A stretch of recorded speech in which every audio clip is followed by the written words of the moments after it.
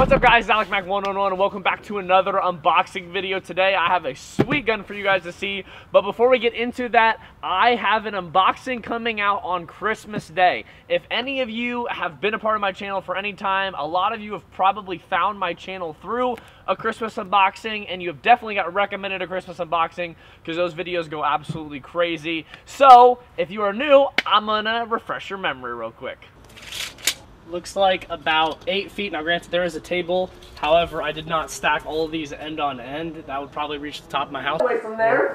Ah. Ah. Ho ho ho, Merry Christmas. What are you doing there? That is my stuff!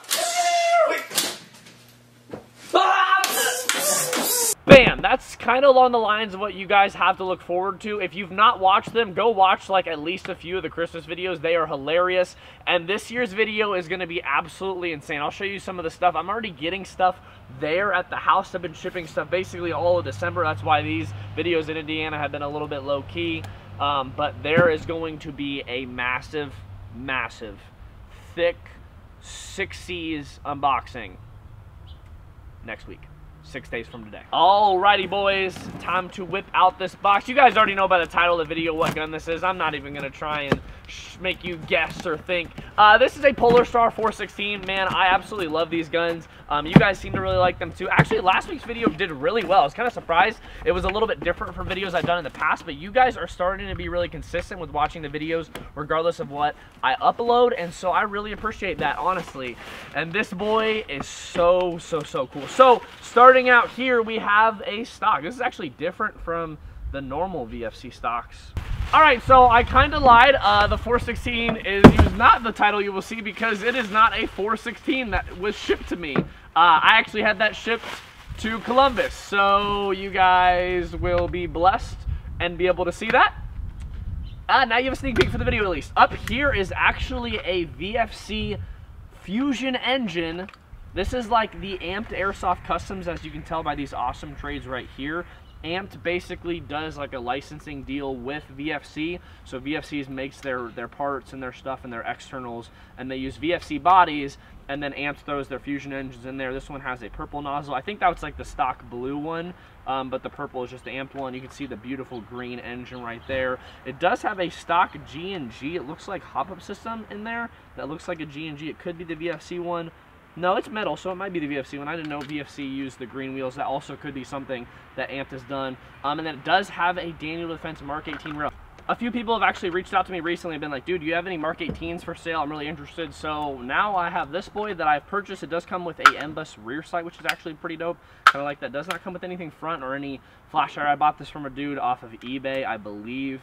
Um, this stock is actually really nice. It's got like some sort of really rubberized texture and the whole stock has a rubberized texture. I don't know if this is VFC. I do not recognize it. kind of feels like one of those Systema butt pads in a sense.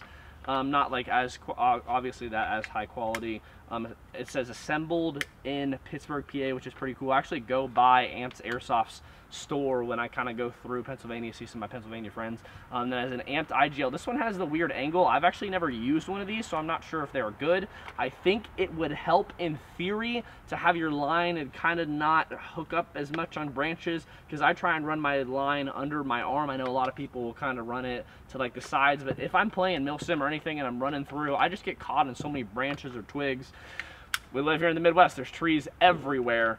Um, but this is actually a pretty dope build, honestly. I really like it. It does have a little bit of rust on the rail, which is a little bit worrisome. But I think these Daniel Defense rails by Madbull are made a little bit cheaper now because they're only like $90.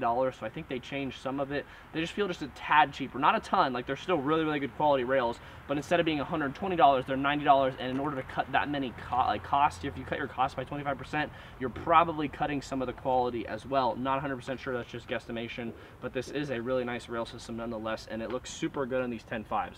I think they're just, it's awesome little quad rail. I am more of a circle rail guy just personally, but I do love this. We also actually have a super cool last thing on here. It looks like it's like a second amendment um, charging handle of some sorts. It actually has kind of like the Radian Raptor style grips for those of you that shoot real steel stuff. Um, it's kind of nice and it has American flag there. Obviously, everybody loves that good time. Yeah, super cool build and short video today. Like I said, next week's video will probably be like 40 minutes So it's going to be absolutely massive. I'm probably just going to keep it in one video. I have cut it into two parts before, but I'm probably just going to keep it one video unless it gets to the hour mark.